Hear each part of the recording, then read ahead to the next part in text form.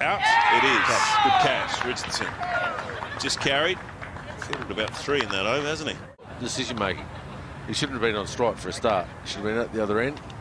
And like the field, like the setup, and well bowled Mitchell.